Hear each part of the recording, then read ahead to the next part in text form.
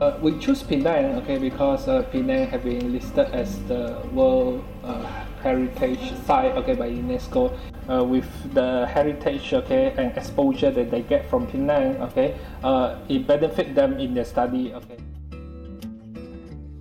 So a lot of times, right, students face difficulties whereby uh, they never been to the place. Okay, so it's very difficult for them to convey the message through the design. Okay, so with this trip, okay, the student okay go to Penang, okay, by themselves. Okay, they experience Penang, okay, by the or about. Okay, then they can convey a clearer message in their design. The student tend to get the picture from the internet, okay, and put it in the assignment, okay. But a lot, then with this trip, okay, the student will be able to demonstrate their skills, okay, their photography skills, okay. Uh, they take their own picture, okay, and use it in their own assignment. Okay.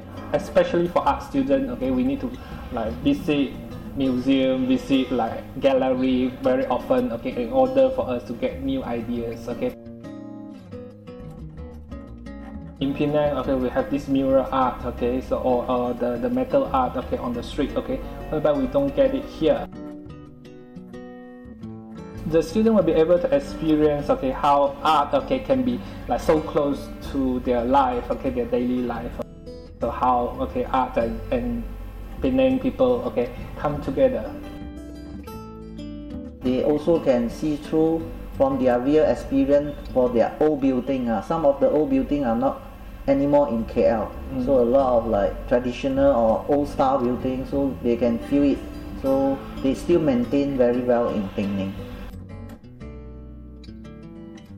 After mm. that, we also plan for every lecturer, we will sit together to, to plan about the project and then what projects to give all the students to do. Okay, so for example, like semester one, okay, they have photography. Okay, the student have been assigned, okay, to take picture there. Okay, then after they come back, okay, then they will need to discuss the idea with the lecturer. Then the lecturer will help them to improve on the picture. So okay. this is uh, one of the example. We also do packaging design for the painting product and local product. So I think almost uh, all the key point is a good point for for us to explore using this way like study trip like we really go outside and do some not only on on KL on Kuala Lumpur so at least whole group of us will go to other state. So this is a, a good chance to explore